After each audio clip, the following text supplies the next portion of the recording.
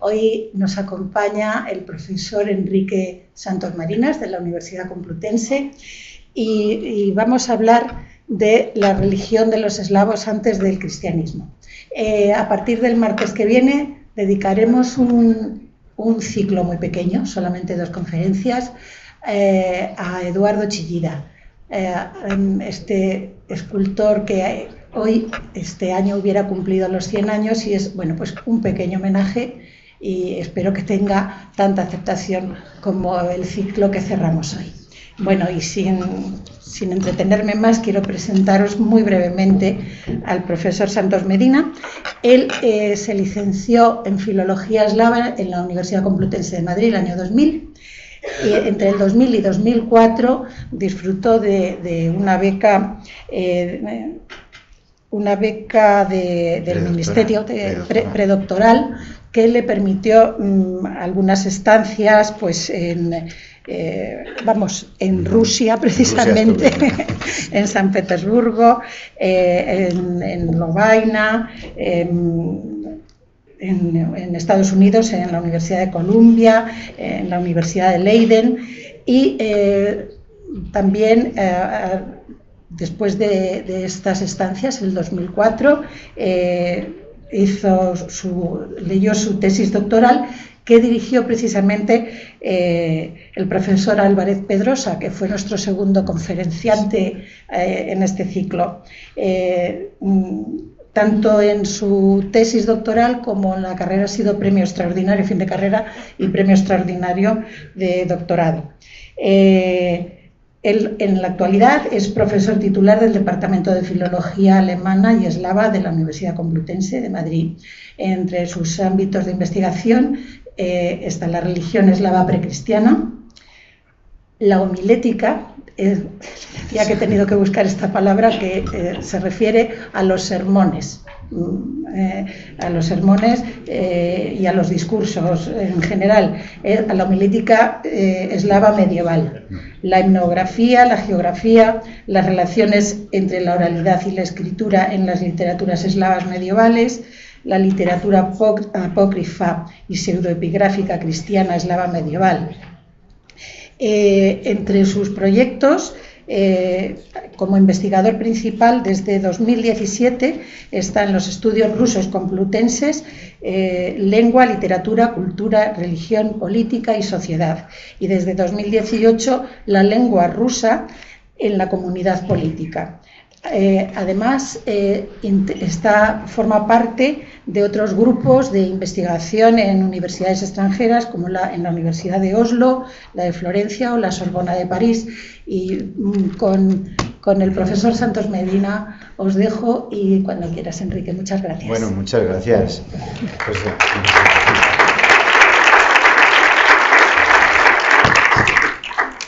Bueno, pues muchas gracias también por haberme invitado. De verdad es mi primera vez en Albacete, pero no será la última porque eh, me, he quedado con ganas de, verla y es de verdad muy, agradecido eh, por, poder participar ¿no? y espero estar al nivel de mis predecesores. ¿no? Bueno, mm, soy el último, pero además vamos a hablar de este tema que también fueron los últimos en llegar, por así decir, los eslavos en la historia, casi no, fueron los últimos, pero los penúltimos, por así decir, ¿no? De la historia de los pueblos indoeuropeos que fueron viniendo en distintas migraciones, en distintas oleadas pues eh, desde la prehistoria. ¿no? la cosa es que los eslavos llegan bastante tarde, ahora vamos a ver. ¿no? Y esto va a condicionar también precisamente tanto las lenguas, la historia de las lenguas eslavas, como la historia de las culturas en las que entra la historia de la religión. Y la historia de la religión precristiana, en este caso, ¿no? antes de convertirse al cristianismo. También fueron uno de los últimos pueblos en convertirse al cristianismo, de los últimos pueblos europeos, pero no los últimos. ¿eh? Hubo otros que se convirtieron después, como los pueblos bálticos, que también fueran eran, unos pueblos indoeuropeos, ¿no? pero de estos no, vamos a hablar hoy. Bueno, para ubicarlos, Siempre me gusta poner este mapa un poco de las distintas áreas. Esto es desde el punto de vista lingüístico, ¿no? de las lenguas eslavas. ¿Qué países eh, tienen estas lenguas? y que al final son lenguas y culturas, porque está todo unido. ¿no? Claro, como se puede ver a simple vista, no hace falta dar nombres, ¿no?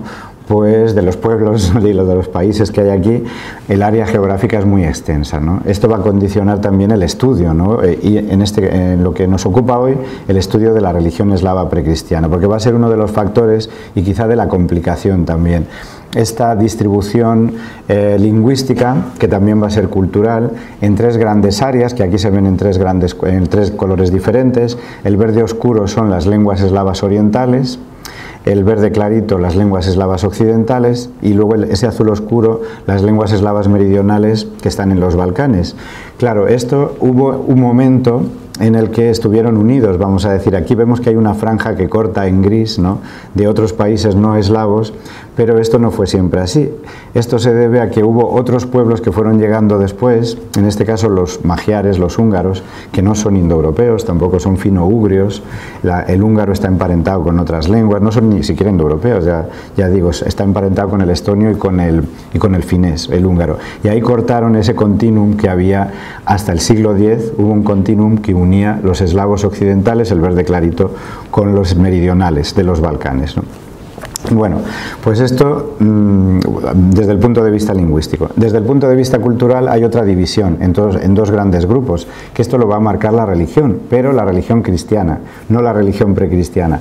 Es lo que un investigador italiano conocido, bueno, se llamaba Fernando, eh, Ricardo Picchio, perdón, definió como la Eslavia latina y la Eslavia ortodoxa. Claro, al final depende de quiénes fueron los padrinos o madrina, quién fue la madrina de bautismo de los eslavos, si fue Roma, si fue Constantinopla, pues eso marcó la cultura también, porque hizo no solo la religión, a partir, ya saben, del año 1054, del gran cisma de Oriente, cuando se escindieron ¿no?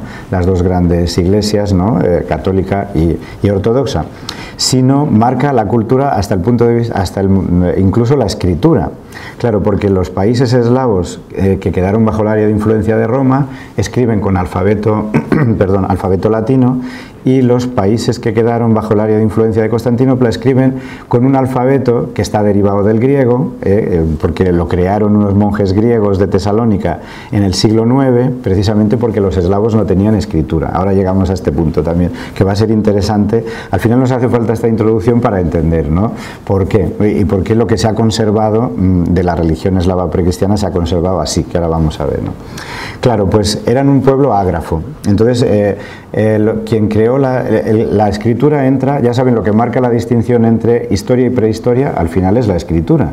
Por lo tanto, la prehistoria de los eslavos o protohistoria mm, se alarga bastantes siglos hasta la Edad Media, ¿no? hasta que estos dos monjes de, bizantinos de Tesalónica, que eran Constantino Cirilo y su hermano Metodio, crean ese alfabeto en el siglo IX con un eh, objetivo de evangelizarles a los eslavos de un estado que se llamaba la Gran Moravia. ¿Y qué alfabeto crean? Eh, dirían, asegura automáticamente el alfabeto cirílico, que es el que hoy en día se utiliza en todos los países eslavos de religión ortodoxa, pero no, porque hubo un alfabeto anterior que se llamaba glagolítico, que se ha conservado en los manuscritos más antiguos y que incluso en Croacia, esto es la paradoja, en Croacia, que es un país eslavo meridional de la antigua Yugoslavia, pero del área latina, mm, que escribe con alfabeto latino, lo curioso es que para la liturgia y en la iglesia se empleará un alfabeto derivado del griego como fue el glagolítico, que es como se llamó ese primer alfabeto eh, que crearon los monjes Constantino, Cirilo y Metodio en el siglo IX. Y bueno, el caso es que tiempo después los discípulos de Cirilo y Metodio crearon otro alfabeto cuya semejanza con el griego era mucho más aparente, que es el alfabeto cirílico, que es el que ha llegado hasta nuestros días. Y claro, es el que emplean todos los países eslavos de esa Eslavia ortodoxa, que, eh, de religión ortodoxa también. Eh, son todos los verdes oscuros, que son Rusia, Bielorrusia y Ucrania y los de los mm, azul oscuro, que son los meridionales, son los, lo que se puede decir casi de la mitad para el este, que son Serbia, que está en el medio, Montenegro, eh, que está al lado como un apéndice de Serbia, oh, si puedo apuntar, está aquí, Serbia, que está en el medio, Montenegro, que está en la costa, que es que eh, se separó de Serbia, pero formó parte después de la eh, extinción de la guerra de la Yugoslavia, ¿no? Y Macedonia también, que está aquí abajo, la Macedonia que hoy en día se llama, ya saben ustedes, Macedonia del Norte, por este contencioso con Grecia, porque hay la Macedonia griega, para distinguirla de la Macedonia griega, ¿no? Pues está aquí. Y Bulgaria, por supuesto, ¿no? Pues todos estos, Serbia, Montenegro, eh, Macedonia, Bulgaria y Ucrania, Bielorrusia y Rusia, emplean el alfabeto cirílico, que también está basado en el griego, en la mayúscula griega, y es mucho más aparente. Bueno, pues yendo al tema que nos ocupa. Al final, esto de que fueran un pueblo ágrafo los eslavos hasta el siglo IX, no, tenían escritura, pues va a marcar también los testimonios que han quedado sobre su religión y su cultura mm, primitiva, anterior al cristianismo. Mm. Lo de, incidiendo un poco en este tema, esto tampoco quiere decir lo de que fueran ágrafos, no quiere decir que fueran más atrasados que otros. ¿no? De hecho, todos los pueblos indoeuropeos eran ágrafos, que esto hoy, en día nos parece increíble que los griegos, que los latinos no tuvieran escritura, ¿no? sino que la adquirieron o adaptaron otras escrituras cuando llegaron al Mediterráneo mm, en sucesivas migraciones. El mismo alfabeto griego ya saben que es una adaptación del alfabeto fenicio, que al final es una lengua completamente diferente de otra familia, que es semítica. ¿no? Pues el griego es una adaptación del fenicio, el latino es una adaptación del griego, y así sucesivamente. ¿no? Pues los alfabetos eslavos también fueron adaptación del griego. ¿no? Bueno, mm, esto para ubicarnos en que, bueno, mm, es verdad que los eslavos llegaron más tarde, pero esto no quiere decir, solo en eso estaban más atrasados, en llegar más tarde. ¿no? Eh, eh, vamos a, eh, por eso vamos a ir al problema de... Mm, bueno, al final la, comparación entre las distintas lenguas eslavas, que son muy parecidas entre sí, permitió a los lingüistas reconstruir una protolengua que llamó protoeslavo, eslavo común, en época prehistórica, a partir de estas semejanzas. ¿no? Y esto también hizo que eh, esta sea precisamente una de las herramientas a utilizar para reconstruir la cultura.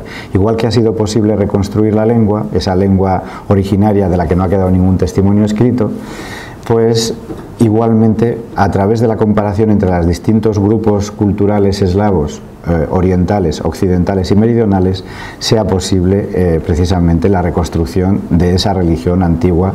Vamos a ver, hasta, hasta cierto punto, ¿no? siempre hay diferencias entre las distintas áreas. De hecho, esas semejanzas entre esas distintas lenguas eslavas permitió eh, también deducir a los lingüistas y a los historiadores que todos esos pueblos eslavos en un momento de la prehistoria habrían ocupado un área geográfica bastante más o menos homogénea y definida porque eh, precisamente eso explicaría esas grandes semejanzas tanto a nivel fonético, léxico, etcétera, eh, gramatical de las distintas lenguas eslavas. Y que hubo un momento dado Sabemos cuándo fue, porque de eso sí que hay testimonio histórico, eh, con fuentes escritas, ¿no? que los eslavos, a partir, eh, partiendo de ese núcleo originario, se expandieron, y además lo que se conoce como la gran expansión eslava.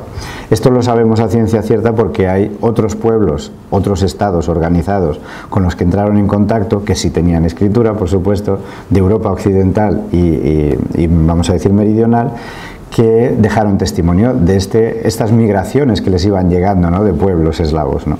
Fueron el, Sacro Imperio Romano Germánico, en ese momento a partir del siglo VI, y el Imperio Bizantino o Imperio Romano de Oriente, que van a ser alguna de las fuentes que, que tengamos. Entonces, bueno, yendo a este, este apartado de la patria originaria de los eslavos, vamos a ir un poco más deprisa. También hay fuentes históricas antiguas pero eh, es más problemático. ¿no? Se, ha, localizado ese, núcleo originario de los eslavos en la zona de lo que ahora es Ucrania, el oeste de Ucrania y la zona del eh, curso medio del río Dnieper hacia el oeste, sobre todo lo que aquí está en rojo. Para eso, eh, sobre todo, se han seguido criterios lingüísticos de este investigador alemán, pues criterios de la hidronimia y de la toponimia, porque como saben la hidronimia es muy conservadora, quiere decir que mucho tiempo después de que se haya ido un pueblo de un área geográfica, los ríos se siguen llamando como los nombró ese pueblo. Aquí en España tenemos el ejemplo de los ríos que empiezan por Guada o Guadi, ¿no? Eh, Guadalete, Guadalquivir, pues que se siguen conservando su nombre mm, en árabe ¿no? o guadiana, ¿no? Eh, mucho tiempo después de que ya haya pasado la dominación árabe. ¿no? Pues esto pasa también. ¿no? Y el área geográfica donde más eh, topónimos e hidrónimos eslavos se conservan ha sido, según este investigador, fue precisamente esta que está en rojo del oeste de Ucrania hacia Bielorrusia, ¿no? justo al sur de un afluente del Dnieper que es un afluente occidental que se llama Pripyat, porque ahí hay más hidrónimos o topónimos en báltico, en lenguas bálticas. Y de hecho habría sido una zona de contacto, por eso se ha fijado ahí, zona de contacto entre pueblos bálticos y pueblos eslavos, que parece que en la prehistoria hubo un momento de comunidad, de mucha cercanía. Esto también ha quedado atestiguado en las lenguas y en la cultura, porque las religiones bálticas precristianas de estos pueblos indoeuropeos, los bálticos, ¿no? conservan también muchos paralelismos, incluso nombres de dioses, eh, y, algunos paralelismos con los eslavos en la religión precristiana. De hecho, de los bálticos se sabe todavía más porque fueron los últimos, como he dicho, en ser mm, bautizados, en ser, cristianizados en el siglo XIV. Los eslavos, la cristianización, aunque comenzó en el siglo ya 7-8, se produce en el 9, sobre todo con estos monjes Cirilo y Metodio, y 9-10 es cuando se produce la cristianización de la mayor parte de los eslavos, excepto, vamos a ver, unos eslavos que quedaron los últimos reductos en cristianizarse, esto como los, esta aldea gala que quedó ahí reducida, ¿no? Pues aquí la aldea gala de los eslavos estuvo en el Báltico, en lo que ahora es el este de Alemania, curiosamente, que estuvo ocupada por eslavos durante varios siglos, que esto es increíble, ¿no? Y incluso el último reducto fue una isla que vamos a ver en el Báltico, que bueno, aunque aquí sale muy pequeñito, aquí en una isla del Báltico que pertenece a Alemania, que es la isla de Rügen, que fue cristianizada a principios del siglo XII cuando los conquistaron el rey de Dinamarca, que se llamaba Valdemar, porque estaba harto de que le piratearan los barcos en su ruta comercial por el Báltico y ya se cansó, les conquistó y les bautizó ya de paso todo. Y eso fue a principios del siglo XII. Los últimos eslavos en ser mm, paganos o precristianos. La palabra pagana es un poco peyorativa, entonces siempre preferimos evitarla y decir precristiano, pero bueno.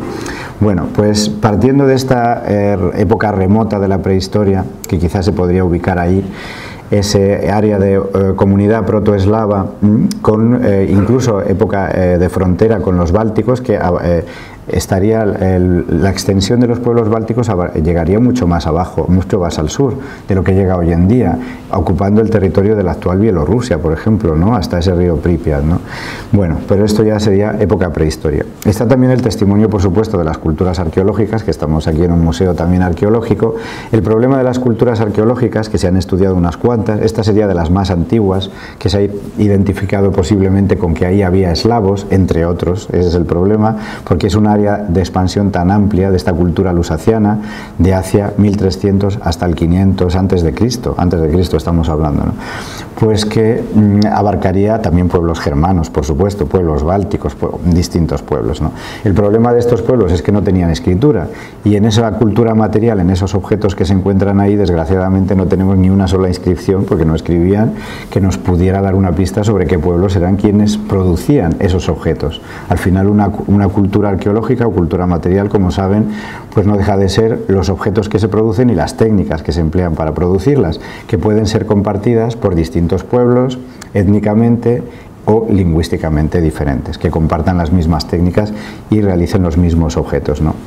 Bueno, pues esta es una de las eh, culturas más antiguas arqueológicas en la que posiblemente podría haber eslavos, a ciencia cierta no se sabe, incluso con eh, descubrimiento de fortalezas, de asentamientos como este de Biskupin, que hoy en día se encuentra en la actual Polonia, también se han encontrado en el este de Alemania, en, muchos sitios ¿no? del este de Europa central y oriental, con urnas funerarias muy interesantes, con formas de casitas, que a mí me encantan estas urnas de esta cultura lusaciana, de esta época prehistórica, o estas que pude fotografiar en, la, en el Museo Arqueológico, el Altes Museum, el Museo Antiguo de Berlín, ¿no?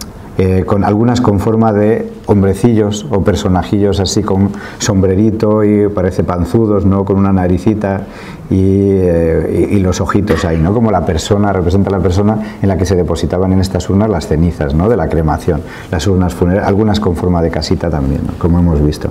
Bueno, pero yendo a lo más seguro, de la que sí que se sabe que era eslava, mm, la ciencia cierta, también un conglomerado de otros pueblos, no hay que descartar. ¿no?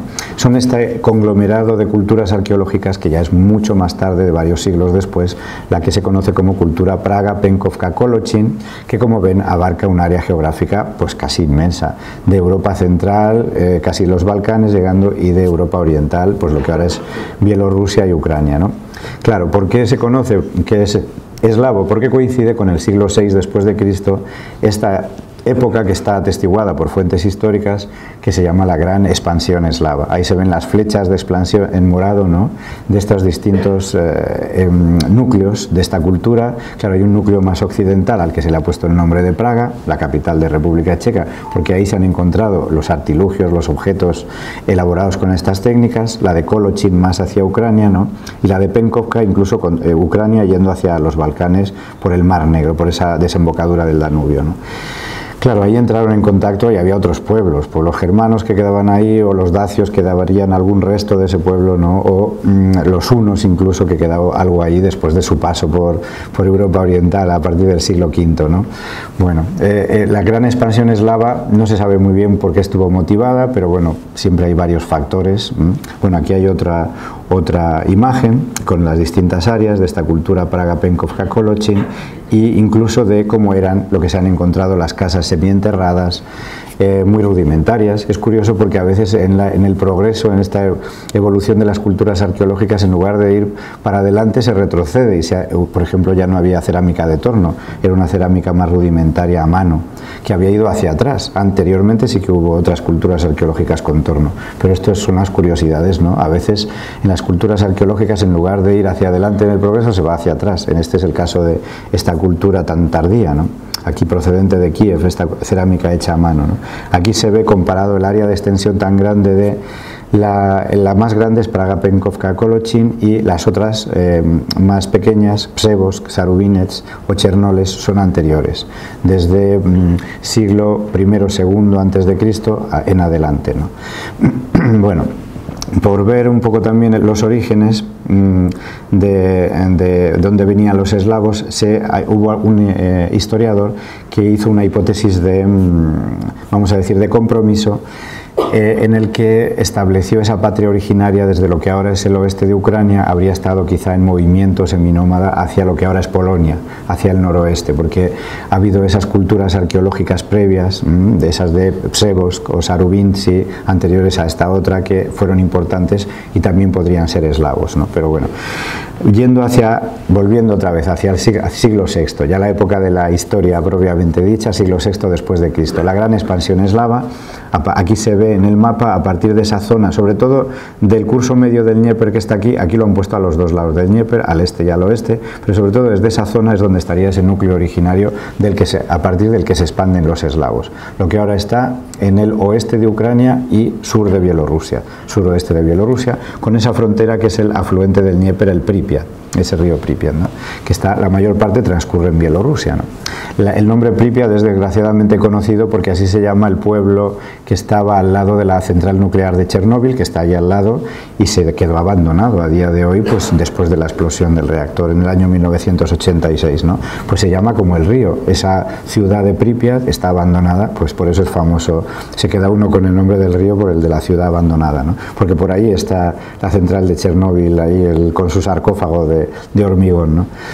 Bueno, pues eh, desde esa zona en verde oscuro, como ven estas franjas diagonales eh, discontinuas, hasta ahí fue, llegó la gran expansión eslava como un tsunami casi. Ahí pueden ver que fue muy hacia el oeste, incluso hasta casi la desembocadura del río Elba, al sur de Dinamarca, o sea que ocupó gran parte de lo que ahora es Alemania, que hoy en día, pues claro, nos parece increíble que llegaran tan al oeste. Y de hecho, hay nombres de ciudades alemanas a día de hoy que son de origen eslavo. Esto se le dice a un alemán y se le pondrán los pelos de punta. Pero Berlín es eslavo, Lübeck es eslavo, Bremen es eslavo también. Esto, claro, a los, no se suele conocer, ¿no? Pero bueno.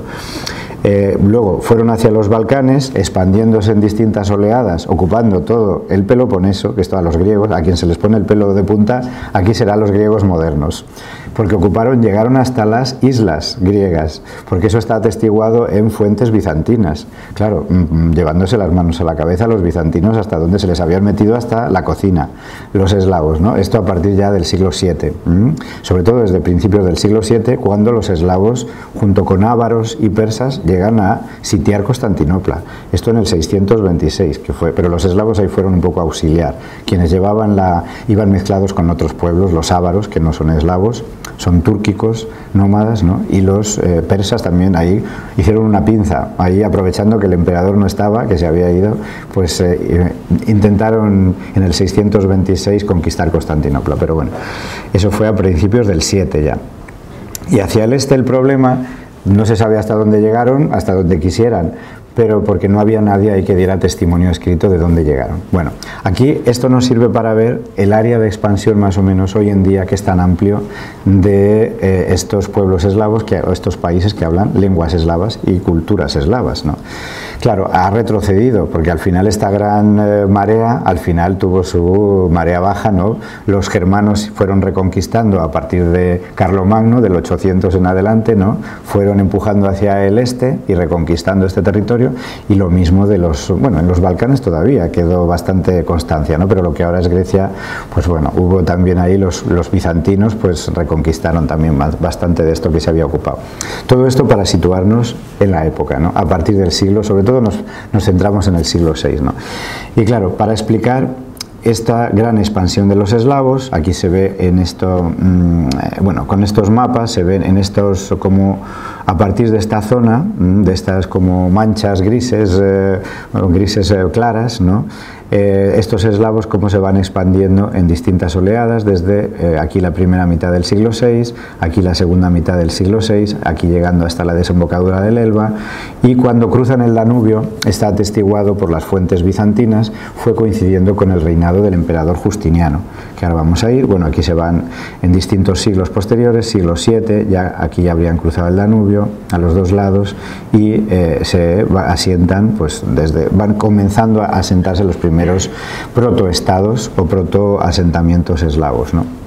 Bueno, eh, hay un, bueno, un primer testimonio que no nos dice nada para la religión, que pudo, eh, podría haber sido pueblo eslavo con el que se encontraron unos embajadores bizantinos que fueron precisamente a dialogar con eh, Atila el Uno, que estaba a su campamento al otro lado del Danubio, y ahí de camino, al cruzar el Danubio, se encontraron con unos pueblos que sí que parece que por las bebidas que menciona, esa medos, que tiene una raíz indoeuropea, miel, se refiere a hidromiel, ¿no? Y otra bebida hecha de cebada, que podría ser la cerveza, ¿no? Lo que les ofrecen a estos embajadores bizantinos podrían ser eslavos en el siglo V. Pero bueno, este texto no nos dice nada sobre la religión. Eh, aquí, bueno, sale este mosaico, por supuesto, que conocen de sobra de la iglesia, de la Basílica de San Vital de Rávena, que representa a Justiniano y su corte y todo, ¿no? Porque es en ese año 526 cuando les decía que los eslavos cruzan el Danubio, ¿no? Y ahí ya los historiadores bizantinos empiezan a dejar testimonio, ¿no?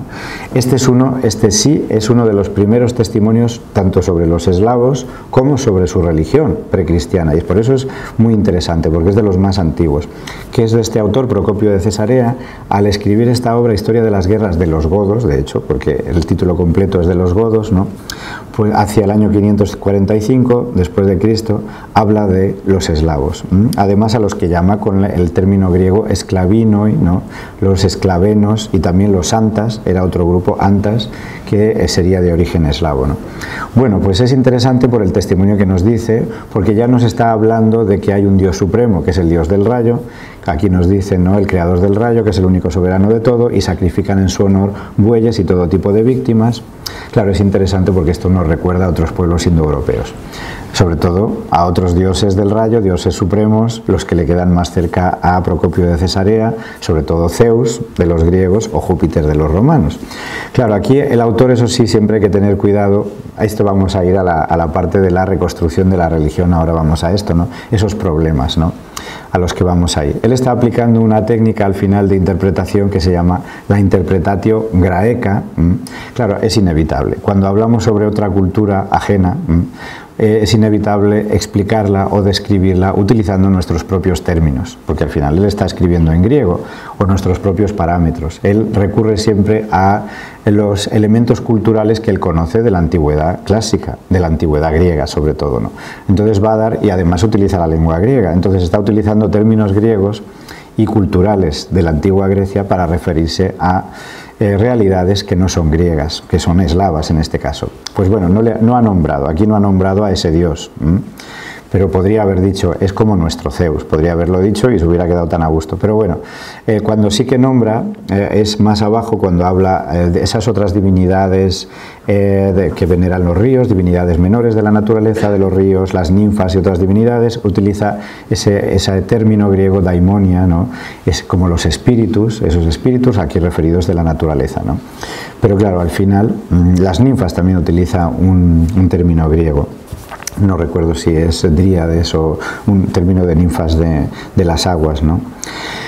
Mm, y hacen sacrificios para todos ellos y efectúan oráculos en las víctimas de sacrificio. Es interesante porque también es de los primeros testimonios sobre ritos, no solo sobre dioses o divinidades, sino sobre la otra parte de estas religiones antiguas que de hecho mm, se considera como la parte esencial de las religiones, como es la praxis, mm, los ritos que realizan. Entonces, bueno, este es interesante por ser uno de los primeros testimonios. ¿no? Em, también, bueno, dice que ofrecían sacrificios por la propia vida para salvarse en una situación de peligro, todo esto, ¿no? que era más práctico. Pero también sacrificios, lo de obtener auspicios, ¿no? o los oráculos, sobre todo auspicios, ¿no? a través de las, lo que hacían los romanos, de las vísceras de los animales, o después de sacrificar un animal y predecir el futuro. Pues esto también está atestiguado entre los eslavos. ¿no? Bueno, pero yendo hacia la reconstrucción, vamos a ir hacia la parte metodológica primero y luego vamos ya a entrar en materia. Nos vamos a saltar todo esto de los primeros estados eslavos más antiguos, del primer estado búlgaro, eh, ya en el siglo IX, y el primer estado eh, en lo que se llama la Gran Moravia, que fue donde llegaron estos Cirilo y Metodio a cristianizarles en el siglo IX. Eso es la cristianización. Pero antes de esto, vamos a ir a, bueno, estas son las otras áreas ocupadas por eslavos en el Báltico y en la zona de lo que es el este de Alemania, más al oeste del Oder y hasta el Elba, ¿no? Eh, toda esa zona. ¿no? Eh, aquí en lo que está en, letras, eh, perdón, en líneas discontinuas y diagonales es el imperio otoniano, el imperio germánico y su progresiva expansión hacia el este. Y los pueblos que quedaron ahí en medio eran pueblos eslavos precristianos, incluyendo este de la isla de Rügen, que fue el último en ser cristianizado en el siglo XII, hemos dicho. Eh, los polacos se convirtieron al cristianismo antes. El príncipe Miesco es el príncipe polaco que se convierte, eh, se bautiza bajo el área de influencia más romana, ¿no? al casarse con una princesa bohemia, de, de lo que ahora es la República Checa, en el año 965, en el siglo X. Y al final estos eslavos que estaban aquí en el Báltico les hicieron la pinza por los dos lados, los cristianos, tanto los germanos como los polacos ya cristianizados a partir del siglo X.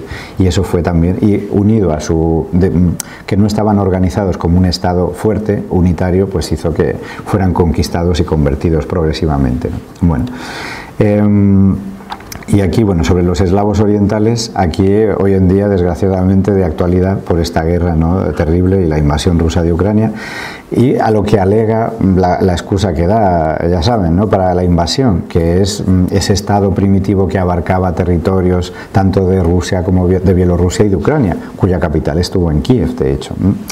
Se formó a partir de estas rutas comerciales que venían desde el Báltico, descendían por los ríos, por el Dnieper por tanto ríos como lagos, y por el Volga, por el Dnieper hasta el Mar Negro, llegando a Constantinopla, y por el Volga hasta el Mar Caspio, llegando al eh, califato mm, árabe ¿no? de, Samarra y luego de Bagdad. ¿no? Para los intercambios comerciales, lo que no he dicho es quienes descendían por los ríos, que eran un pueblo escandinavo nórdico, no eslavo, que eran los varegos, conocidos como varegos o varengos, que es lo mismo que decir vikingos, los que bajaban por estos ríos. Al final había una élite militar ahí escandinava que bajaba por los ríos y una masa de población que ocupaba este territorio, multiétnica de hecho, porque no solo había eslavos, había bálticos y había finougrios en toda esa zona de, de ahí, ¿no? Y era controlada por este pueblo escandinavo. Ahí hay muchas influencias mezcladas también que hay que tener en cuenta, ¿no? Y al final, por esas rutas comerciales y el control, surgieron distintos asentamientos, distintas ciudades, bajando desde el lago Ladoga, una ciudad que hoy en día se llama Staraya Ladoga, ahí la ciudad de Novgorod, que de hecho significa la ciudad nueva, en el curso del río Volhov, que desciende desde el Ládoga, y luego de ahí los vikingos sacaban los barcos, iban a pie, y eh, vamos a decir que hacían el trasbordo al siguiente río que encontraran, que era el Dnieper, que bajaba hasta el Mar Negro y de ahí a Constantinopla, o por el Volga hasta el Caspio. ¿no? Bueno, pues esas rutas comerciales surgió esos varegos, o varengos en los grandes ríos, y surgió ese primer estado conocido como la Rus de Kiev. Y de hecho el nombre Rus no es eslavo. Esto etimológicamente es escandinavo nórdico, más eh, emparentado con las lenguas germánicas o nórdicas. ¿no? De hecho, parece que significa remeros en su origen etimológico. Hasta ahí llega esa influencia externa, vamos a decir ahí. ¿no? Bueno, pues ese primer estado eslavo mm, oriental que surge a partir de los siglos 9-10, ya cuando se asienta como Estado con centro capital en Kiev, lo que ahora es Ucrania, y abarcaba territorios de Bielorrusia, Ucrania y parte de Rusia, de la actual Rusia. Y aquí en este Estado es el que todos reclaman, después de la caída de la Unión Soviética, como su origen para, eh, vamos a decir, construirse una identidad nacional y de ahí es en lo que se basa precisamente, ya saben quién, no hace falta nombrarle, para justificar pues, una invasión de un país ya extranjero, ¿no? desde hacía 30 años. Pero bueno, estos son temas desgraciadamente actuales. Esa era un poco la introducción. Vamos a ver eh, las fuentes que encontramos para la religión eslava precristiana. Tenemos más o menos hasta las ocho y media, más o menos, ¿no? Así básicamente. Vale. Ya hemos mencionado lo mismo que las mismas fuentes que para reconstruir esa historia de los eslavos, de las culturas. ¿no? Hay fuentes arqueológicas, desgraciadamente no hay muchas, ahora vamos a ver por qué, restos arqueológicos de los eh, primitivos eslavos de su religión. ¿no? Hay fuentes del folclore, quiere decir la transmisión oral en leyendas, en canciones, en cuentos populares, incluso en la vestimenta, ya saben, el folclore, la etnografía, ¿no? pues todo esto también es interesante. Hay fuentes históricas, por supuesto, de los historiadores que desde eh, un primer momento, desde sobre todo el siglo VI, cuando empieza esa gran expansión eslava, pues empiezan a dar testimonio sobre los eslavos y sus eh, costumbres y sus ritos y religión, o sus dioses. Las fuentes iconográficas van un poco unidas a tanto al folclore como sobre todo a las arqueológicas, y no son muchas, mm, hay que decir, no se han conservado muchas, y los datos lingüísticos, yo como filólogo, pues al final nos basamos mucho en los datos lingüísticos. Pues la etimología, los teónimos, por ejemplo, nombres de dioses, nombres de lugares que llevan nombres eh, sagrados por lugares de culto o asociados con dioses, etcétera. Bueno, el problema para las fuentes. Sobre las fuentes arqueológicas eh, son las únicas, por supuesto, en dar testimonios de carácter directo, pero les falta el contexto textual, les faltan los textos que nos cuenten, incluso de hasta el nivel de inscripciones. Podemos encontrar algún ídolo, pocos han quedado, ¿eh? ídolos eslavos, eh, pero eh, ahora les puedo ya adelantar por qué. Porque con la cristianización los destruyeron todos, o casi todos, alguno ha quedado. La mayoría estaban hechos de madera, entonces mm, al destruirlos la madera es muy fácil de destruir, salvo que quede alguno por ahí en algún lago, en algún pantano, ahí hundido porque los tiraban.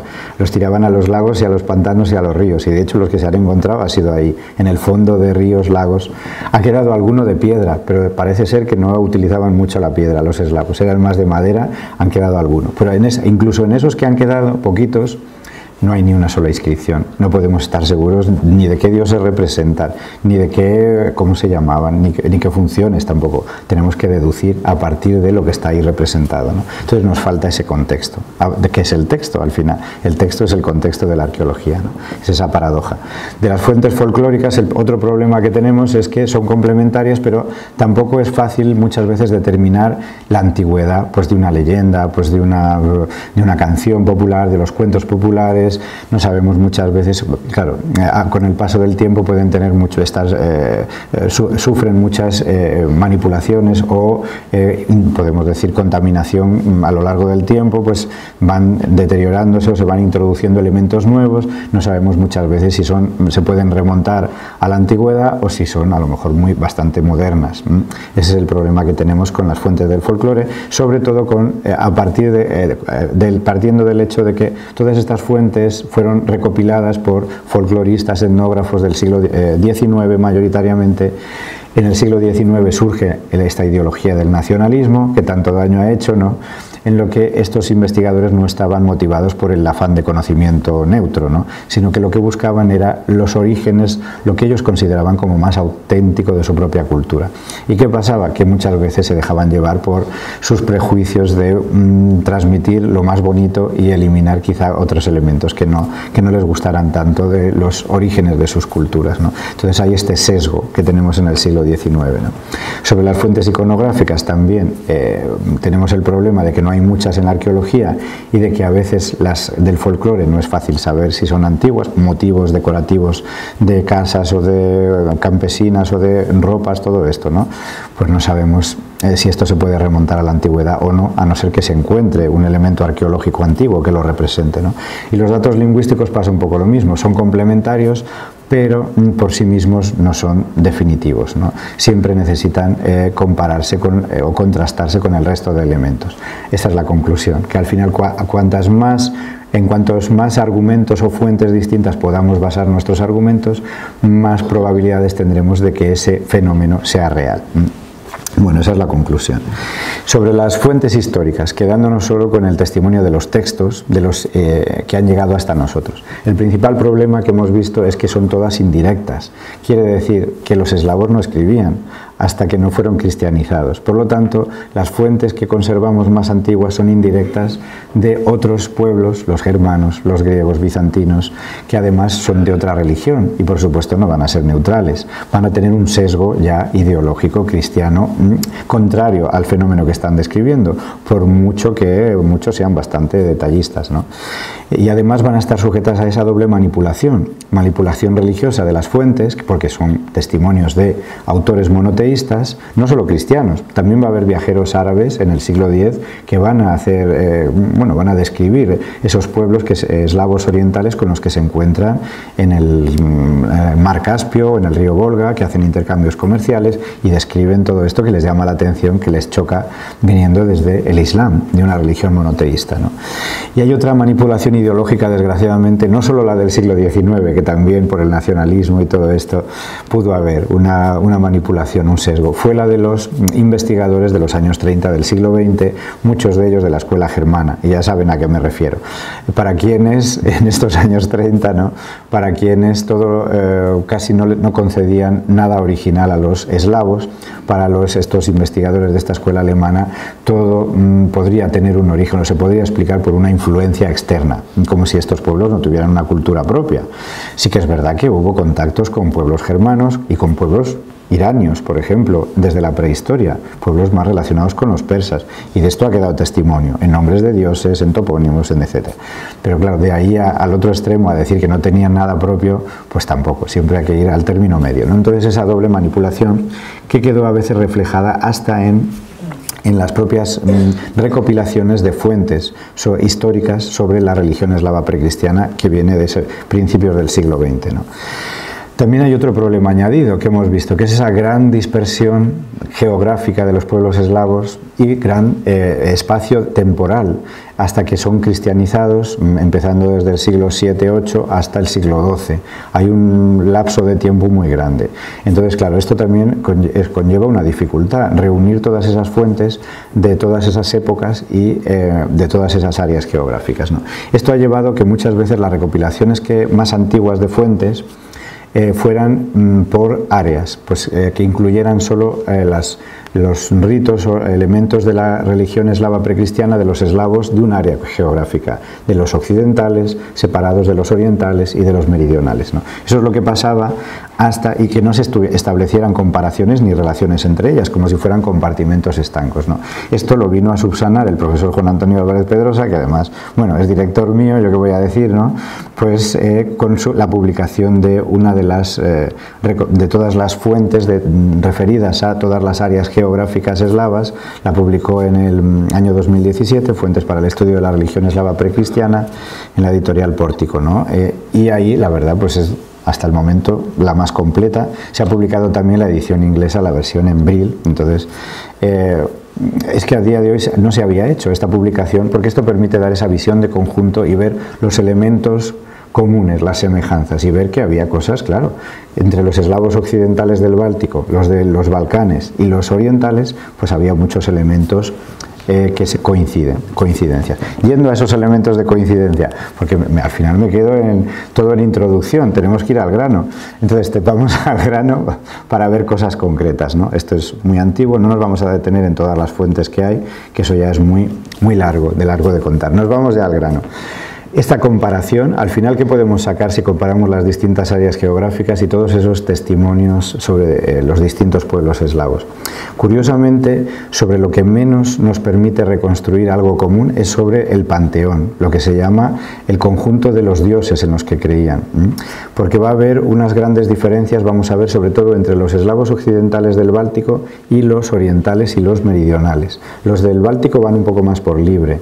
¿Quién era ese dios supremo? Antes ha salido ese dios del rayo como dios supremo. Pues es que no va a ser ese dios. En, los eslavos del Báltico, el dios supremo es un dios polifacético, multifuncional, que tiene muchas funciones y no es el dios del rayo. El dios del rayo tiene un papel, existe, pero tiene un papel secundario, quizá como dios de los juramentos, de los juicios, de la justicia, eh, asociado eso sí al árbol, al roble, igual que este Zeus, Júpiter también, el dios del rayo en los en los eh, griegos o en los romanos, ¿no?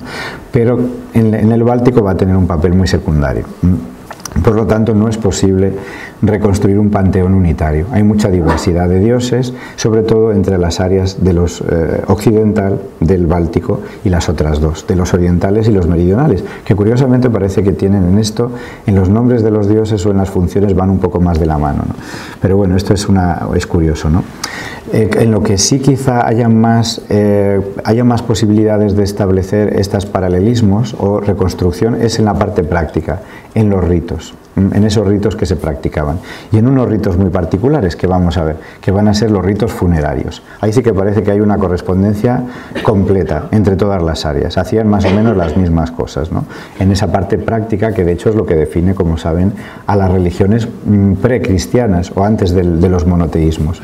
Mientras que los monoteísmos van más por la teología, por el dogma, los antiguos iban más por la práctica, por la praxis, mientras que no había versiones únicas ni eh, dogmáticas de los mitos, por ejemplo, ¿no? Había muchas variantes, ¿no? Igual los griegos o los romanos, Bueno, hay también, aquí seguimos un poco esta ideología trifuncional que ya les habrán hablado, ¿no? de este Georges Dumézil, que se ha quedado también un poco anticuada esta escuela, ¿no? pero al final eh, identificar estas funciones eh, que reflejarían de los dioses, que reflejarían las tres funciones de la sociedad, esos tres estamentos entre los dioses supremos que tenían la soberanía, esa primera función, la soberanía, que también está el sacerdocio, la parte, vamos a decir, del poder eh, y de la religión, ahí juntas, ¿no? La segunda función de la militar o guerrera y la tercera función, que es la productiva o reproductiva, ¿no? Que reflejaría esos tres órdenes de la sociedad indoeuropea, de los pueblos indoeuropeos. Muchas veces se ha querido aplicar este esquema demasiado rígido para eh, esos dioses antiguos de los distintos pueblos indoeuropeos y hay veces que no, no sirven. Hay veces que sí, sirven muy bien, las tres funcionan, pero otras veces, como con estos dioses multifuncionales de los eslavos del Báltico, reunían todas las funciones en un solo dios. ¿no? Vamos a ver, ¿no? entonces ese es otro problema que tenemos. Bueno sobre el Dios soberano, al final volvemos un poco a lo mismo. Eh, ya hemos visto cómo había este Dios que entre los eslavos orientales se llama Perun, por ejemplo, el Dios del trueno del rayo como Dios supremo, que sí que está en Kiev, en un panteón, ¿no? Y aparece mencionado como Dios del rayo en esta fuente de Procopio de Cesarea que hemos visto. ¿no? Un solo Dios, artífice del rayo, único Señor de todas las cosas y le ofrecen sacrificios de vacas y todo tipo de víctimas. Bueno, pues ese Dios del rayo como Dios supremo ya... Eh, he adelantado que no está presente en el Báltico. Está presente, pero no como Dios supremo, sino como un Dios secundario, más, menos importante. ¿no? Mm, eso sobre, eh, por ejemplo, aquí tenemos entre los eslavos occidentales le llaman prone, es la misma raíz etimológicamente que perun, como se va a llamar entre los eslavos orientales. También aparece en toponimia entre los meridionales llamado perun, también en, los Balcanes aparece ese nombre, que es, un nombre indoeuropeo, una etimología, la misma raíz de percusión, esa palabra perc, porque el báltico se llama percunas, el dios báltico equivalente. Es el efecto de golpear el rayo en la tierra y sobre todo en, el árbol sagrado que estaba asociado con este dios, que es el roble o la encina, que además es quercus, como saben en latín, que es la misma etimología, la misma raíz que está per o querc, es la misma etimología. Entonces el, el, árbol se identifica con el dios y con la acción de golpear el rayo. Por eso es el árbol sagrado. Depende si es más al norte es el roble, si es más al sur la encina, ¿no? en los Balcanes. Bueno, Pues a este dios, que sí que aparece prone entre los eslavos del Báltico occidental, es lo que ahora es el este de Alemania, esta fuente del moldo de Bosa o la crónica de los eslavos, pero aparece mencionado como que ahí se hacían juramentos, se hacían justicia, se impartía justicia debajo de ese árbol, era un recinto sagrado, se veneraban bosques sagrados y el árbol del roble, ¿no?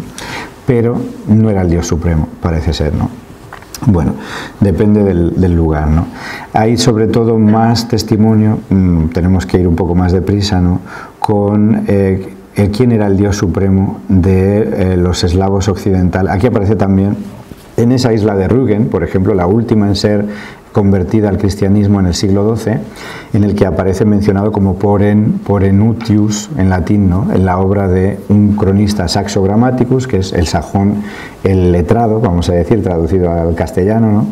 que es quien escribió la, una, gesta, bueno, una crónica, Gesta Danorum, las hazañas de los daneses, en la que cuenta cómo el rey Valdemar de Dinamarca conquista a estos eslavos rebeldes que eran piratas de la isla de Rügen y que le pirateaban los barcos. pues hacia el año 1160 y es cuando son convertidos al cristianismo estos eslavos. Pues ahí, entre otros muchos dioses, había uno que se llamaba Porenutius, que tenía, era policéfalo, tenía varias cabezas ese ídolo, ¿no? Cuatro caras y otra en, encima del cuerpo, o sea que eran cinco. Esto va a ser un rasgo también característico de estos eslavos del Báltico, la policefalia. Ahora vamos a esta otra parte, ¿no? Pero este dios Porenutio no era el dios supremo, ni el más importante para estos eslavos de la isla de Rügen, en el Báltico de Alemania. Era otro que le dan un nombre Sventovit, que tiene un nombre, Svento significa sagrado, y Vit, no está muy claro esa raíz, como fuerza, poder sagrado, algo así, ¿no? Ese era el principal, del que nos habla Saxo Gramáticos. Vamos, vamos a este, si no. Eh, también, bueno, de los que describen este Ibn Fadlan entre los eslavos que llegaban con los rus, con estos mm, vikingos ahí a comerciar, simplemente dice que había unos ídolos, unos troncos, estacas clavados en el suelo y había una en el centro que sobresalía, ¿no? que sería ese dios supremo, al que le hacían sacrificios para que el comercio fuera bien, simplemente con fines comerciales. ¿no? También le ofrecían animales y cosas. ¿no? Bueno, pero esto es en el Volga, desembocadura del Volga. Aquí no, no nombra cómo se llama. Hay cosas parecidas entre los eslavos centrales, esto de un círculo con agujeros donde ponían los ídolos, troncos clavados en el suelo y uno más alto en el centro que sería el Dios Supremo. Bueno, esto es la reconstrucción que se ha hecho ya moderna, esto no se ha conservado, por supuesto, ¿no? en Bohemia, lo que ahora es la República Checa. ¿no? Bueno, así serían los santuarios estos. Eh, hay también eh, testimonio de un emperador bizantino en su obra magna de Administrando Imperio cuando relata el viaje desde Kiev por todo el Dnieper bajando por el, lo que había los rápidos del Dnieper, llegando a la desembocadura, era la parte más peligrosa porque los tenían que sacar los barcos, no, no, era navegable y ahí estaban expuestos sobre todo a otros pueblos que les estaban esperando en emboscadas. Era una parte peligrosa. Pues cuando llegaban al final del viaje, en acción de gracias, estos rus que bajaban por el Dnieper ofrecían sacrificios de pájaros a un roble enorme o que había ahí en una isla llamada San Gregorio. ¿no? Ahí sacrificaban, mataban pájaros y los dejaban ahí clavados como acción de gracias por haber hecho bien el viaje. ¿no? Pues esto lo cuenta Constantino VII Porfirogénito el siglo X, todavía antes de que se hayan convertido al cristianismo los rus, que esto lo harán van a ser justo después, en el año 988, cuando el príncipe Volodymyr de Kiev eh, se bautice, en el ya siglo X. ¿no? Pero bueno, eso es justo antes. Ahí está el roble, el culto al roble, quizá asociado a ese Dios supremo. ¿no? Y mm, bueno, vamos a, ir un poco más rápido. También hay un testimonio de un culto a una encina, pero esto ya mucho más tarde, en los Balcanes, en la vida de San Teodosio de Tórnovo, que es del siglo XIV, en la que cuenta como un monje griego les enseñaba al pueblo enseñanzas o prácticas, en este caso prácticas heréticas, cómo era ofrecer sacrificios a, a una encina para obtener la sanación, aquí con otro fin. No es acción de gracias, no es que les fuera bien en el comercio o en la guerra, sino que era para conseguir sanarse de enfermedades. Y claro, esto huele mucho a religión eslava precristiana todavía en el siglo XIV, mucho tiempo después de haberse convertido al cristianismo en Bulgaria, que en Bulgaria se convirtieron en el siglo X. y le echan la culpa a un monje griego de hacer estas cosas raras con una encina y ofrecerle sacrificios. Pero aquí más, más bien huele a que había un sustrato de creencias populares de ese paganismo como se mantuvo en, la religión popular, en otras áreas. Claro, el problema que esto eh, en el área de los eslavos orientales se llamó dvoyevierie, doble fe, una especie de sincretismo, era eh, eh, porque los sermones, precisamente la homilética de los eslavos orientales, aquí de, los rusos, bielorrusos y ucranianos, hasta el siglo XIII y XIV, los clérigos que escribían sermones se hartaban de condenar estas prácticas, mm, diciendo que se iban a condenar, que es porque los campesinos en sus pueblos, en la religión popular, seguían practicando estos ritos de ofrecer sacrificios, bueno, aunque no fueran sangrientos, a veces sí, mataban gallos y los ofrecían a los ríos, a estas ninfas de los ríos, que eso también está en los sermones, en la homilética de los siglos XIII-XIV. Pero otras veces hacían eh, alimentos, ofrendas de alimentos y los ofrecían eh, a los dioses, vamos a decir, o para tener una buena cosecha, ritos agrarios en una sociedad agraria como era, ¿no? para quienes eh, tener una buena cosecha era esencial para la supervivencia o que no se muriera el ganado. ¿no? Entonces ahí se explica que mantuvieran muchos siglos después de convertirse al cristianismo estas prácticas, no las creencias, pero sí prácticas de la religión eslava precristiana. ¿no?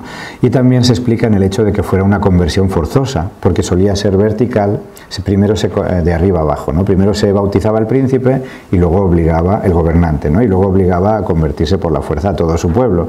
Al ser forzosa y vertical, pues mm, tampoco era voluntario, vamos a decir, ni por convencimiento ¿no? de la gente. Pues estas dos causas explicarían este mantenimiento a lo largo de muchos siglos después de haberse convertido al cristianismo de esas prácticas precristianas. ¿no? Bueno, yendo precisamente a las prácticas precristianas, ya hemos dicho que, porque casi no tenemos tiempo, se nos ha ido todo casi la introducción, pues no, podemos establecer un panteón común.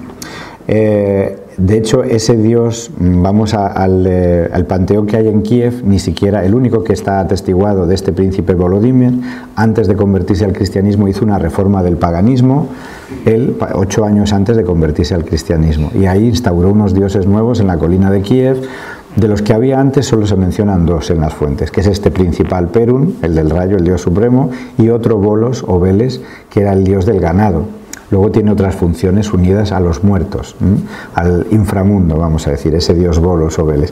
Por ellos dos juraban los rus al jurar los tratados de paz con los bizantinos en el siglo X, anteriores a esta conversión al cristianismo.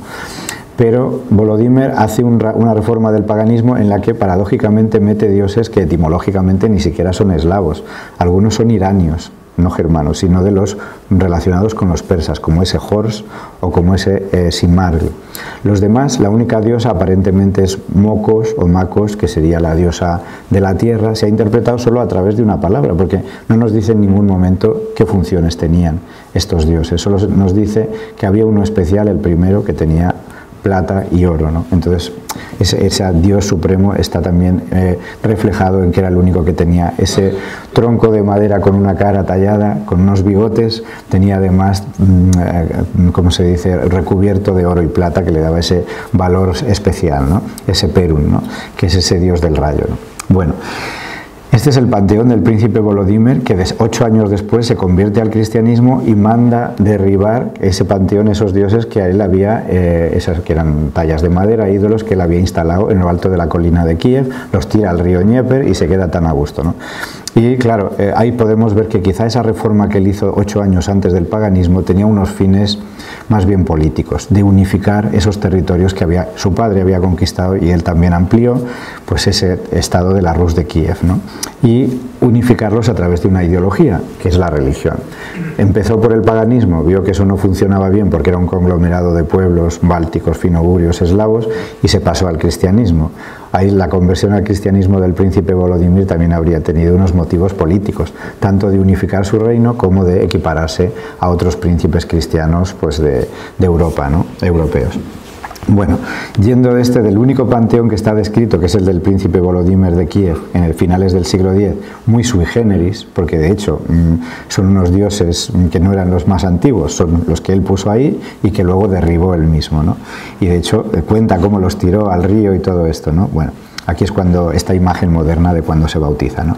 Pues em, vamos a ir cómo era. Esto es una película que hicieron los rusos en el año 2016, donde se ven eh, muy nacionalista rusa, de hecho en el año 2016, y ahí explica mucho lo que ha pasado después eh, en toda esta zona. ¿no? Pero bueno, ahí se ven cómo eran estos ídolos más o menos en la colina de Kiev, ¿no? se ven ahí. Bueno, eh, yendo hacia ese, me voy a saltar hasta el ídolo eh, de la isla. Ah, este es de los poquitos, que este sí que merece la pena verse, de los pocos ídolos que nos han llegado hasta nosotros, porque como nos cuentan las crónicas, tanto en Polonia, en Rusia, lo que ahora es Rusia, bueno, en la Rus de Kiev y en los Balcanes, tiraron los ídolos a ríos, lagos, o los, ídolos, ¿no? o los quemaron, los de madera. De los poquitos que han quedado es este ídolo del río Sbruch, que es un afluente del Dniester, que ahora está en Ucrania, pero en esa época, eh, bueno, por, azares de la vida, eh, quien lo encontró fue un noble polaco, porque esos territorios eh, pertenecían en ese momento al imperio austrohúngaro. Por estos azares de la vida las fronteras han cambiado. Hoy en día este ídolo, que mide más de dos metros, aquí donde se ve, ¿no? pues parece más pequeñito aquí, ¿no? Se conserva en el Museo Arqueológico de Cracovia, en Polonia, ahí está plantado, ¿no? Desde el primer momento este ídolo que como ven tiene cuatro caras, eh, tiene cuatro lados ¿no? y tres partes claramente diferenciadas. A partir de aquí se han corrido ríos de tinta porque no hay ni una sola inscripción. No se sabe qué dios representa. No se sabe si es un dios solo con, con cuatro cabezas, cuatro caras o si son varios dioses. No se sabe nada seguro. ¿no? A partir de aquí, claro, tenemos que juzgar por lo que vemos. Entonces ya podemos extraer conclusiones, sobre todo si se compara con otros ámbitos, tanto eslavos como indoeuropeos. Aquí lo que se ve claramente son tres partes diferenciadas. La mayor parte del ídolo, más de la mitad, es esa figura grande eh, que está por encima, con ese sombrerito, que tienen además a veces atributos. Hay alguno que tiene, aquí tiene una espada, además de un caballo, aunque no se ve muy claro, aquí tiene un cuerno en la mano, agarrando en este otro lado, aquí tiene un anillo en este agarrando de la mano. Aquí en este lado no habría nada, aunque algunos han querido ver ahí como un disco solar que tiene en la mano o una rueda o algo así, aunque no está claro que esté ahí. En el medio aparece una figurita muy pequeñita que parece que está aplastada en la cabeza tiene esos piececitos del de arriba, ¿no? que le aplastan ese, ese suelo que tiene en la cabeza, con los brazos extendidos, quizá ya lo interpretamos con actitud o de súplica o u orante, puede ser. ¿no? Y bajo los pies de estos muñequitos de abajo, que parecen algunos mujeres, porque parece que tienen pechos, otros no tienen pechos, ahí también hay discusión si sobre son todos hombres o todos mujeres o quiénes, incluso sobre los dioses. Si aquí parece que este que tiene el cuerno de la abundancia podría tener pecho, no se sabe, no está muy claro en el relieve. ¿no? Y debajo hay una figura que no se sabe si es una o son tres, porque en una de las caras no es que esté deteriorado, es que no está tallada. Está tallada solo en tres. Entonces no se sabe si es una figura eh, también bastante más grande que la del el centro, que parece que sujeta el pie, eh, sujeta el suelo que pisa eh, las figuritas del centro. ¿no? Pues claro, aquí parece una división, aquí se ha visto una cosmovisión, cosmogonía tripartita, como tenían los indoeuropeos, entre los dioses del cielo, los hombres, los seres humanos que estarían en el centro, ahí como aplastados, y esos seres tónicos del inframundo que sujetan el suelo que pisan eh, estos hombrecillos o, mujercillas que hay allá en medio. ¿no? El de abajo no se sabe si es uno o tres, pero parece ser que es uno, lo que pasa que la cabeza o tiene tres cabezas o parece que está eh, representado, porque aquí sí que está el pie arrodillado, ¿no? está la pierna arrodillada en dos lados, ¿no? y luego la parte de atrás que no está tallada. ¿no? Ese ser arrodillado que sujeta es como un atlante, ¿no? esos atlas ¿no? que sujetan el universo de la mitología grecolatina, ¿no? que estaría quizá el inframundo, ese suelo que pisan los, los seres humanos. ¿no? Pues claro, a partir de ahí se han, han, corrido ríos de tinta, ya les digo quién era este dios. Apareció desde luego en el área de los eslavos orientales en esto, lo que ahora es Ucrania, aunque se encuentre en Polonia conservado en el Museo de Cracovia. Pero en el mismo momento de descubrirle ya le pusieron nombre. Este noble que era muy culto, o los mm, estudiosos del siglo XIX, porque lo descubrieron en el río cuando hubo una, una sequía como ahora y apareció de repente en el fondo del río la cabeza está con el sombrerito. ¿no? Y claro, pues lo descubrieron por casualidad. Eh, enseguida le llamaron Esbiatovid, el Esbiatovid del río Esbruch. ¿Por qué? Pues porque le recordaba esas cuatro cabezas y algunos de los atributos que tiene a lo que describe como era el dios supremo de esos eslavos de la isla de Rügen, que fueron los últimos en ser eh, cristianizados al convertirlos eh, este rey de Dinamarca. ¿no?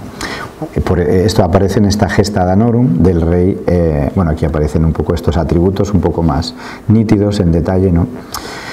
Aquí es donde se encontraría ese ídolo, aunque lo encontraron en el fondo del río, se ha propuesto que estaba en esta ciudadela en un monte cercano, el monte Bogit, cerca de ese río Sbruch, y ahí han encontrado hasta el hueco donde estaría el cuadrado, donde estaría ese ídolo, ¿no? Aquí está el ídolo y donde supuestamente, presuntamente procedía. Bueno. Em, se ha encontrado esta figurita en Serbia, que se parece un poco a los brazos, solo de una cara, no tiene cuatro. Esto es interesante porque es poco conocida, esta, esta figurilla de un idolillo aunque tiene 170 centímetros, es más de medio eh, metro y medio, ¿no? de los siglos 9-10 del este de Serbia, por lo tanto de los eslavos meridionales, de los Balcanes, hecho en piedra con un sombrero rectangular o algo, o atlante, no se sabe qué es lo que tiene en la cabeza, si es el suelo, si es un sombrero, y las manos, aunque no sujetan nada, pero están en la misma posición que ese otro ídolo del Sbruch, que esto es interesante. Eh, tiene sombrero y tiene las manos así. Bueno, hay otros idolillos que se han encontrado en lo que ahora es Berlín, en el este de Alemania, con bigotes y sombrero. Este tiene bigote y sombrero, aunque se ve más pequeñito. Y este idolillo que se ha encontrado en Novgorod, lo que ahora es Rusia, el oeste de Rusia, eh, de madera, también tiene bigotes y tiene ese sombrerito. Es posible que fue justo en esa zona de Perin, que lleva el nombre, la toponimia lleva el nombre del dios, que sería el sitio sagrado de Novgorod. Eh, sobre, vamos a, sobre el, cómo era este, el de la isla de Rügen. Aquí, bueno, se ha encontrado también en el este de Alemania este ídolo con dos cabezas y otra en el pecho. Esto de la policefalia parece que va a ser un rasgo también común, por lo menos entre los eslavos del oeste, los, de los, del Báltico y los de, eh, vamos a ver, también aparece en esa estatua de cuatro caras, que no se sabe si es policéfalo o no, pero simplemente, ya tenemos que ir terminando, no nos va a dar tiempo a ver mucho más, ¿no? por ver cómo era el Sventovit de Arcona y los dioses policéfalos ¿no? de esa isla. ¿no?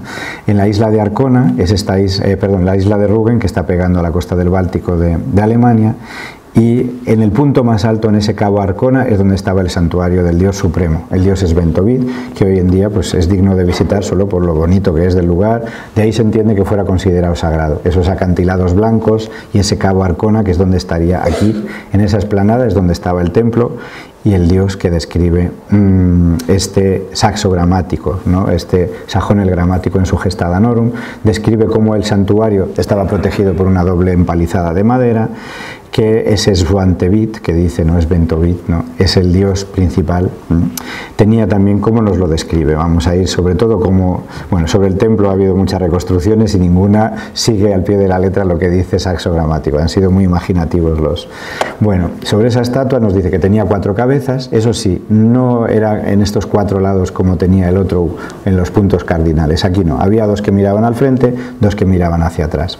Tenía cosas en común, por ejemplo, que tenía nos dice aquí, en una de las manos tenía un cuerno vaciado, un cuerno de un animal, que además sobre ese cuerno se practicaba un rito, el sacerdote practicaba un rito anual que ya para terminar lo vemos.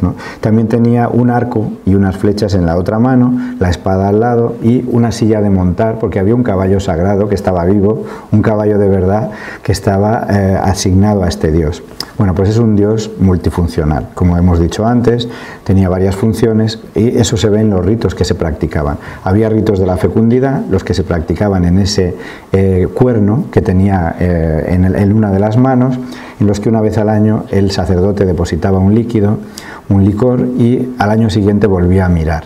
Y si el líquido se había mantenido, era un buen presagio para las cosechas del año siguiente, y si el líquido había mermado, pues era un mal presagio para las cosechas del año siguiente. Hacía otro rito muy gracioso, que era que hacían un pastel muy grande, redondo, de, hecho con miel y otras cosas y cereales, el sacerdote se ponía detrás. Si el pastel le cubría, era un buen presagio de que iba a haber buena cosecha. Si no le cubría entero, es que iba a haber mala cosecha. Y luego hacían ritos con el caballo del dios. Ellos estaban convencidos de que el dios lo cabalgaba en las batallas. Y hacían ritos antes de ir a la guerra. Le hacían pasar por unas flechas que clavaban en el suelo y o unas lanzas y si, dependiendo de si, eh, pues ya saben, por la izquierda, por la derecha, se interpretaba en positivo o negativo, incluso no iban a la guerra si el presagio era malo, decidían no ir. Eso lo cuenta Saxo Gramáticos. ¿no? Pues son en estos ritos al final y en los paralelismos en los que sí que hay a lo largo de todas las áreas geográficas. No nos da tiempo casi a ver las, los ritos funerarios, que esto que casi era lo más interesante. Tienen la cremación, está atestiguada como forma de eh, rito funerario en todas las áreas geográficas eslavas y hay otro rito, desgraciadamente, tristemente, eh, este rito que era el sacrificio ritual de las viudas cuando moría el marido, sobre todo si era un jefe militar, un líder, ¿no? Pues o, era el sacrificio era literal, eh, no incluía la cremación, como a veces sí, lo de arrojarla a la pira solo está atestiguado entre los eslavos occidentales, a veces es ahorcamiento, la viuda se tenía que ahorcar, cuando moría el marido, desgraciadamente estas cosas bárbaras completamente, como dirían los griegos, ¿no? pues ahí era, está atestiguado el sacrificio de las viudas en todas las áreas geográficas eslavas, más por ahogamiento o ahorcamiento que por otro. A veces la forma más suave de sacrificio es autolesión, se hacían lesiones, se hacían heridas y por lo menos no moría, pero aún así este rito, que nos parece bárbaro, está atestiguado eh, por distintos autores en distintas épocas y en occidentales, meridionales y orientales. Por lo tanto, tenemos indicios para pensar que era cierto. ¿no? El cambio de ritual, esto conllevó, ya sí que termino, sí o sí, llevó a mm, un cambio quizás psicológico, un shock, ¿no? Eh, el hecho de que su forma de rito funerario fuera la cremación, la incineración, y pasaran a otro, a otro rito completamente distinto con el cristianismo, que era la inhumación, esto parece que ahí está el origen, es por lo menos lo ha propuesto el profesor Juan Antonio Álvarez Pedrosa, de muchas creencias e historias de muertos sin descanso, muertos vivientes e incluso los vampiros que nos han venido a través de la cultura popular, ya saben, sobre todo de Europa Central Oriental, y que están atestiguados también en crónicas antiguas, eh, incluso una crónica checa del siglo XIV, aparece una historia de mm, una mujer, un pastor, pues que se levantan de la tumba y no solo eso, sino que empiezan a morder a la gente y a atacar a la gente. Pues esto está atestiguado hasta el siglo XIV. Parece ser que todas estas historias eh, tendrían su origen en un trauma psicológico de ese hecho de cambiar el rito funerario. ¿Por qué? Porque el hecho de cambiar, de no darle a los muertos, ya saben, el rito apropiado, para los antiguos, los eslavos al final también son un pueblo antiguo, es que eso significaba que el alma no descansa, que no pasaba al otro mundo, el alma se quedaba aquí. Y esto podía mm, tener como consecuencia que el muerto volviera, pero incluso físicamente. De ahí se han encontrado estos sí arqueológicamente en cementerios que se están excavando tanto en Polonia, en Bulgaria, en el este de Europa, en Bielorrusia, en Ucrania, al excavar tumbas se encuentran las formas más variadas, no ya la estaca famosa de las historias de los, de los vampiros. Cualquier medio es bueno para clavar al muerto al suelo. A veces le ponían una, una, hoz en el cuello por si se levantaba. A veces le clavaban la reja de un arado.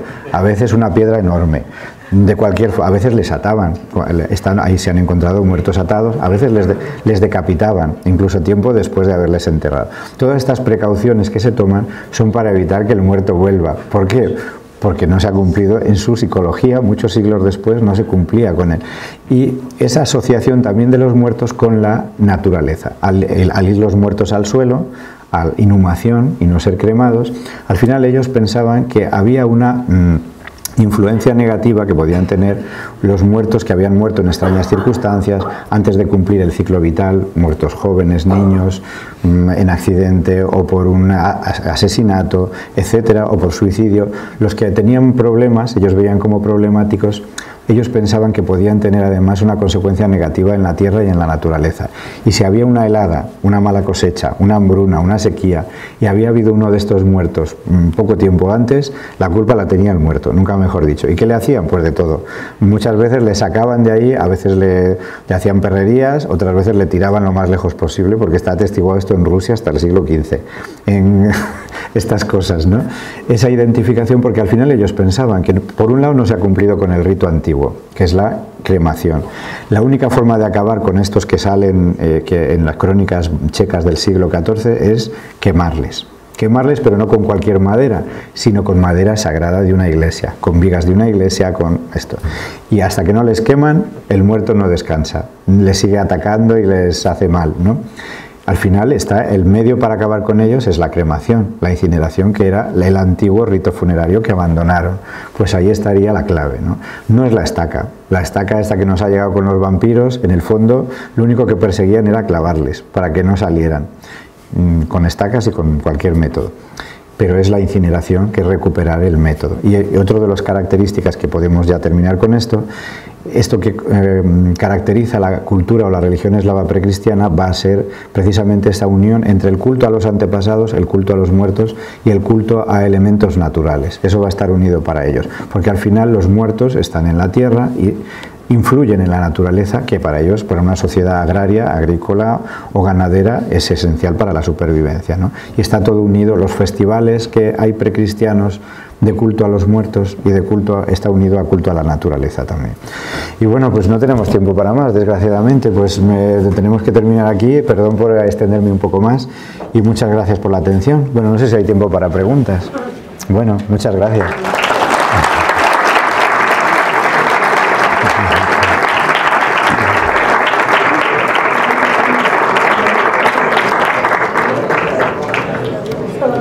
dejo aquí la bibliografía. Había, me quedaban muchas cosas, pero bueno, para ir a la bibliografía del final. bueno. bueno, me he alargado mucho.